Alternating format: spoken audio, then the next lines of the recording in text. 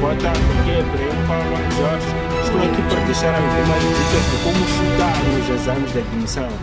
Ok, tá bom, isso não é muito aconselhável, é mais bom estudar, ter o conhecimento de toda a matéria, mas tá bom, há necessidade de algumas vezes, é, algumas questões termos que fazer algumas tentativas aí. Então a primeira dica é, duas alternativas sempre são absurdas, só acho que nós vamos descartar logo na primeira vista. Então sobram três alternativas.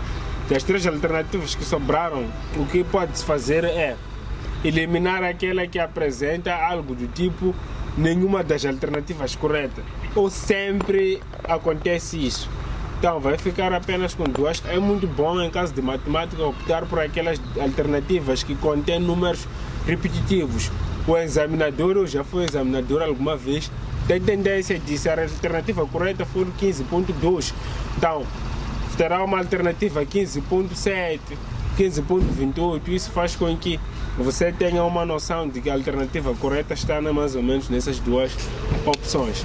Então, é, de uma forma prática, podemos ver aqui nesse exame número 9, por exemplo, temos aqui o valor do logaritmo na base 7 de 7 vezes raiz quinta de 49. Então, uma das primeiras alternativas é 2 sobre 5, que em nenhuma vez está repetido aqui. Temos B5 sobre 7, C7 sobre 5, D, 10 é 11. Dá para ver que 11 é descartado, 10 é descartado e A2 sobre 5 são descartados, porque não apresentam nenhuma semelhança segundo a dica que acabei de dar. Vamos lá ver B e C apresentam 5 sobre 7 e o outro 7 sobre 5, então a alternativa correta tem a maior probabilidade de estar entre B e C. E agora cabe a sua volta ajudar a adivinhar qual entre B e C será melhor. Ok, muito bem. Número 10 temos quase a mesma situação aqui, uma expressão longa, nem quero saber o que está escrito aqui, porque o exame já está para terminar agora e o docente que está a controlar já está a fazer barulho.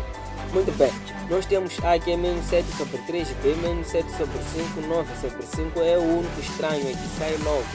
Tendo em conta que a alternativa E foi uma das primeiras a ser eliminada porque apresentou nenhuma das alternativas. Então, o C é a segunda coisa a ser eliminada porque temos 9 sobre 5 que não está repetido. Então ficamos na escolha de A, B e D. Conseguem ver muito bem que a alternativa B apresenta menos 7 sobre 5, não apresenta nenhuma semelhança em relação a A e D. Então A e D temos menos 7 sobre 5 e D que é 7 sobre 5. Então a alternativa correta está situada entre A e D. Muito bem, podem seguir essas dicas conforme podem ver nas aulas anteriores. Para o número 10 a alternativa correta foi D e para o número 9, a alternativa correta foi C. Ok, passe bem os lá se quiser, mas isso é muito estranho, pá.